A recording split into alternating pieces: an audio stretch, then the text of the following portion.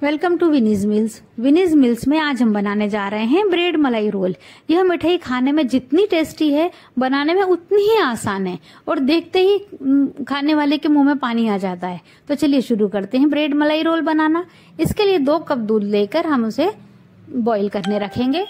फिर उसमें तीन चम्मच शक्कर ऐड करेंगे और एक चम्मच इलायची पाउडर ऐड करेंगे। अब इन सबको अच्छे से बॉईल होने देना है। उसके बाद मैंने एक कप दूध में थोड़ा सा एक चम्मच कस्टर्ड पाउडर घोल कर रेडी करके रखा था। वो इसमें हम ऐड कर देंगे, जिससे इसमें इसका फ्लेवर बहुत अच्छा आ जाता है वेनीला फ्लेवर आ जाता है। और बस अब कस्टर्ड पकने तक हमें इसे कुक करना है। बस दो या तीन मिनट में ये हमारा पक कर रेडी हो जाता है। इसको कंटिन्यू हिलाना है हमें। देखिए कैसी अच्छी मलाई भी आ गई इसके ऊपर।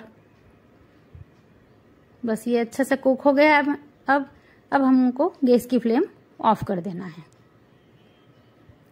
अब जब तक ये हमारा दूध ठंडा होता है, तब तक हम अब अपनी मलाई रोल की तैयारी कर लेते हैं। एक बाउल में हम तीन चम्मच फ्रेश मलाई लेंगे। उसमें हमने एक चम्मच इलायची पाउडर ऐड करना है और दो चम्मच मिल्क पाउडर ऐड करना है। एक चम्मच पिसी हुई चीनी डालेंगे। बस, सबको हम अच्छे से मिक्स कर लेंगे।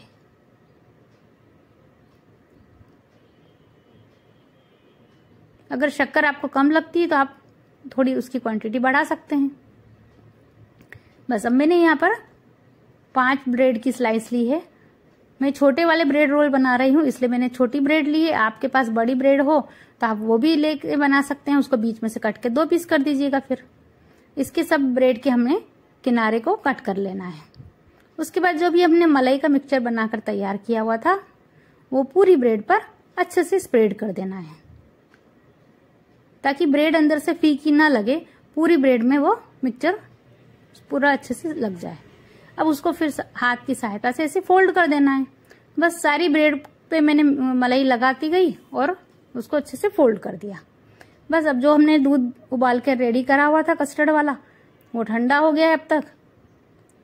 अब सब ब्रेड के ऊपर हमें उसको दूध को डालना है। बस पूरे अच्छे से ये डिप हो जाएँगी। अंदर एकदम मुँह में घुल जाने वाली ऐसी सॉफ्ट मिठाई रेडी हो जाएगी ना। अगर ये थोड़ी देर में वो सूख जाता है तो आप थोड़ा सा दूध ऊपर और ऐड कर सकते हैं। और बस ऊपर से अपने मन चाहे ड्राई फ्रूट से उसे अच्छे से गार्निश कर लीजिए। मैंने यहाँ पर पिस्ता की कतरन डाली है। आपके पास जो ड्राई फ्रूट अवेलेबल हो, आप वो ऊपर से डाल सकते हैं। देखिए, है ना, लाजवाब मिठाई